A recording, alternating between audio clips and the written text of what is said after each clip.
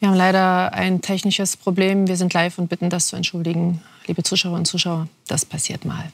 Kommen wir zu unserem nächsten Thema. Es wird äh, brisant, prominent bei uns und vor allem sehr bunt, kann man sagen. Rihanna sorgt mit ihrem Super Bowl-Auftritt für eine Premiere, die es so noch nie gab. Ich sage nur so viel. Es war eine Show der Superlative, inklusive Überraschung. Das und mehr jetzt in Brisant Prominent.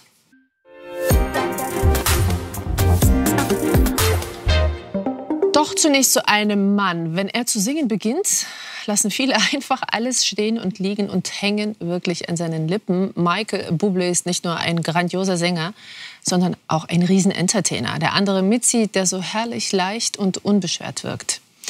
Ja, und er kann übrigens viel mehr als nur Weihnachtslieder. Der 47-Jährige kann einen vor allem mit seiner Stimme um den Finger wickeln. Das hat er auch in München versucht bei unserer Promi-Expertin nämlich, Susanne Kleen. Und ob das gelungen ist, wollten wir natürlich wissen.